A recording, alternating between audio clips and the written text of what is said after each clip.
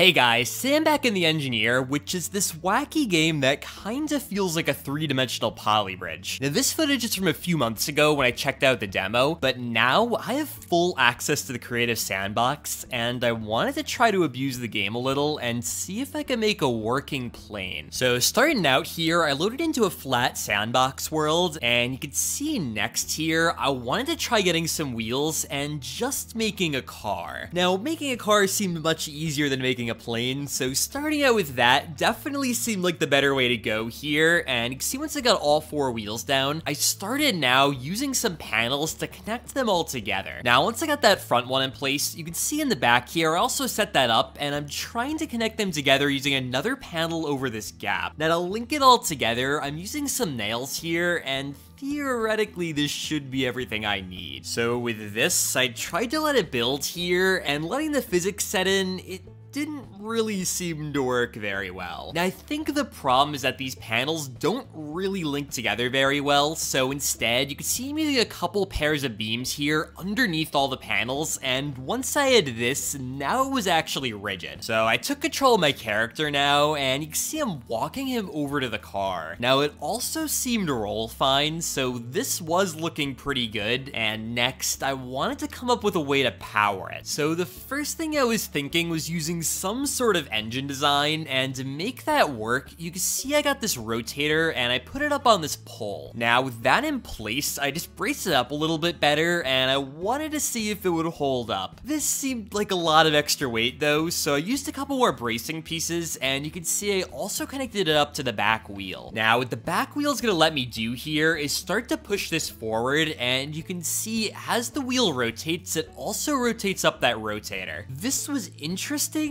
but the way it oscillated back and forth wasn't super helpful, and I realized pretty quickly this design wasn't exactly what I was going for. Now, I also saw this propeller piece, and I wanted to try this out instead. Now, giving it a test, it wasn't spinning up at first, but after a little bit of time, it did seem to gain some speed. But to have it actually push the car forward, I rotated it 90 degrees here, and I wanted to see if the car would take off. So I took control of my camera character here, and I wanted to walk around to the front of the car to see if I could jump on it as it was moving, and at first I didn't see much movement, but then it started to move. Now, it was moving backwards from what I was expecting, but I was getting a pretty good amount of thrust at least, and in fact, I wasn't even able to catch up to the car trying to walk to it. Now, this was a great sign, but what I really wanted to do next was figure out a way to get this thing to lift off the ground. So you can see here, I started out fresh, putting down another paneling piece, and I put down a fan on it. Trying this out, the fan was able to spin freely, but I didn't see much movement. Now, I thought about using a second fan to see if this would help, but that's when I remembered that the fan produces thrust in the opposite direction, so in order for this to work, I was gonna need to put down some framing pieces and mount the fan underneath. This isn't great since these pieces do weigh a lot, and trying this out here, you can see I wasn't able to get off the ground. So next, I tried deleting off the legs and using shorter ones instead, and while this definitely looked better,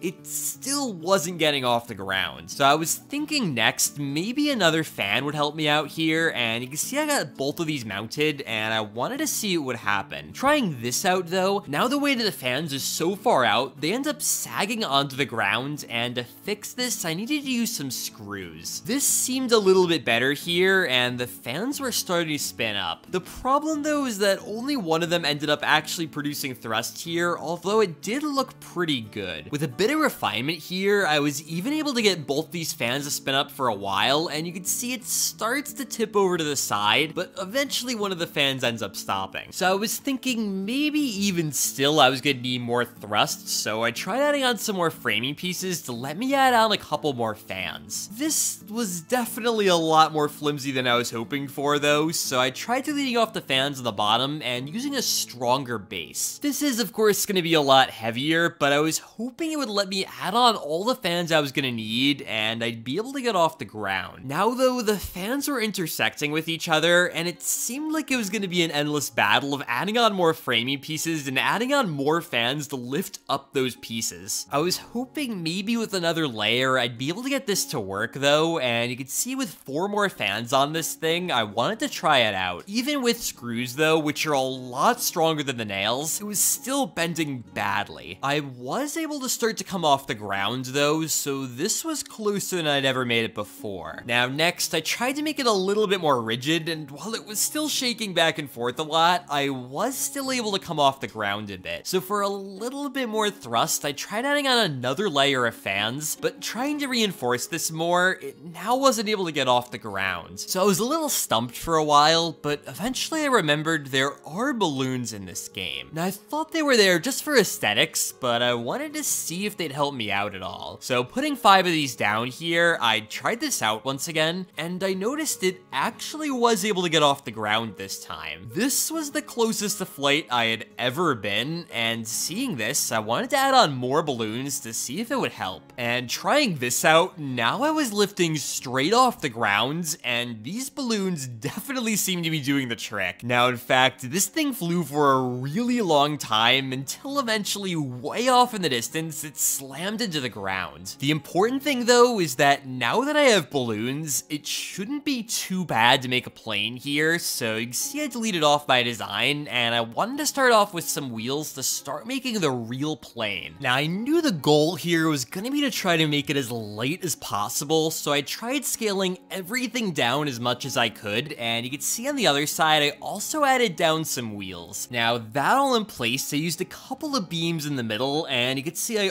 also added down a panel on top of those. Now, in the back here, to make the tail, I just wanted to use a beam going all the way back, and I used a few more to kind of shape it up. Now, I was sure this wasn't actually going to do anything, because I don't think there's any real aerodynamics in this game, but I did want it to look good. Now, after that, you'll also notice I'm trying to get the character inside of the plane here, and that's so I have some way to control it. Now, again, since there aren't any aerodynamics, I can't use any normal controls on this plane, so I was gonna need to figure something out with the guy to move this thing around. You can see, though, I added on a propeller to the front, and I'm actually adding on a few more as well to get even more speed. Now, once I had three in place here, I wanted to try it out, and it wasn't great, although it was a problem that was easy enough to solve with just a few more screws. Now with this design, it was at least mostly holding itself together, and I wanted to see how I would do. Now I noticed that the guy was really starting to fall off the plane here, it was going so fast, and ended up taking out from under him. So to fix that, I wanted to add on a few framing pieces here and try to make a seat. I was pretty sure he wasn't gonna actually sit down, but it at least gives him something to kind of run up against, and you can see trying this out once again, it definitely seemed to help. This was looking pretty good, and now I just wanted to get the rest of the styling done and see if I could get it in the air. Now for the wings, I wanted to use a couple of big framing pieces here, and you can see once I got these in place, I also added on some panels like this. Now this of course gives me a pretty simple and fairly late way of holding this all together, and with a few bolts holding it all down, I just reinforced it here, and it still seemed to be able to move across the ground pretty quickly. It was definitely a little slower than before though, so to fix that, I added on a couple more propellers to the front here, and now was going a reasonable speed. This plane was definitely getting pretty heavy though, so to start balancing that out, I added on some balloons here, and I tried cramming them in pretty much anywhere I could. And giving this a test at first, it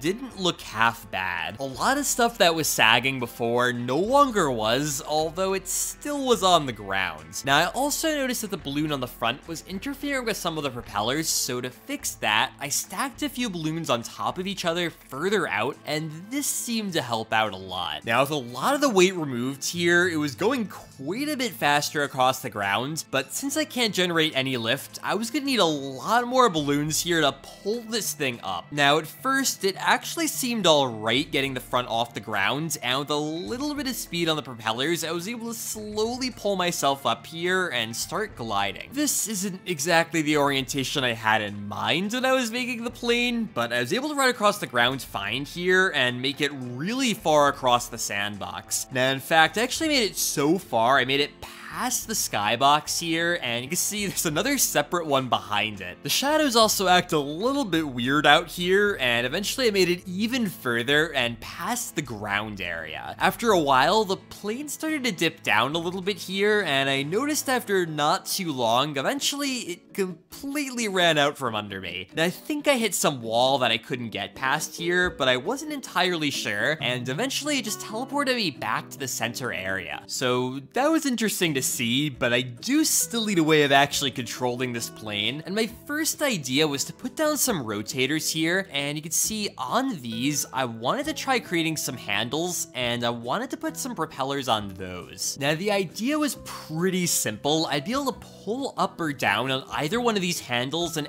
angle the propellers accordingly. This would at least give me some way of producing different thrust, and I'd be able to hopefully spin around here, but this guy is so hard to control, and I found it to be very difficult to move this around anywhere I wanted. More often than not, I kinda just got stuck in these random spirals here, and it really wasn't going great. This made it very easy just to fall straight out of the plane, and then it would just kinda go off without me. Now, some better balancing here, I was able to get the plane sort of situated so that it wasn't going straight up in the air, and this was looking a little bit better here, and I was able to once again get over to this water-like area. This also let the plane fly way faster, and exceed just how fast it took off away from me. Now, this is all great, but I still have no way of controlling it, and that's when I decided to go for a single control in the middle. Now, I'm still using a rotator here, but you can see I'm adding on a couple of handles onto it, and this time I'm only using a single fan. Now, this is going to make it a lot easier since I only need to grab onto a single handle, but even this was very difficult to control here, and the plane ended up tipping over